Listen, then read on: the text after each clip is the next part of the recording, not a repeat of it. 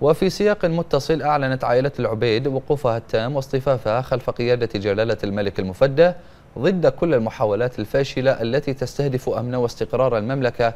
وأكدت أن شعب مملكة البحرين على دراية تامة بمخططات ومؤامرات الجزيرة القطرية البائسة والتي لن تؤثر على ترابط ولحمة شعب البحرين.